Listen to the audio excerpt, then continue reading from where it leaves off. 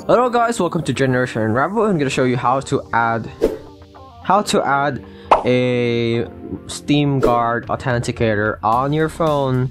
Yeah, on the, your on your Steam mobile app. So let's head over to our Steam app first and let me show you how you can do it. Okay, so here I am on my Steam app, download it on their Google Play as well. Click on the shield logo over here, and as you can see, you can click add authenticator, but there's an error. But let's just try again. Click on the same thing again, add authenticator again, and as you can see, they will, they will send a code to your phone that you need to type in here. So I have sent my code. I can show it to you because it's come on. Okay, I'm gonna write down my code as well, verify it.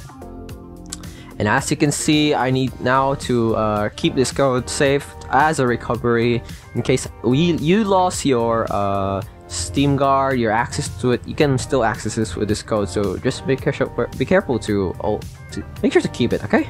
Okay. So I all now have a Steam Guard on my phone. Oh my god! Oh my god! You're gonna see me. Oh no! Oh no! Okay. So as you can see here, just switch over to show your Steam co Steam code, and as you can see, here are your code, your Steam mobile authenticator already enabled for you. You can just copy your code down into your uh, when you're trying to log in into your Steam, and that's it. You have your Steam mobile authenticator set up for you. It's that simple. Thank you for watching. Like, comment, and subscribe if you like this video. This was Generation Unravel saying bye bye.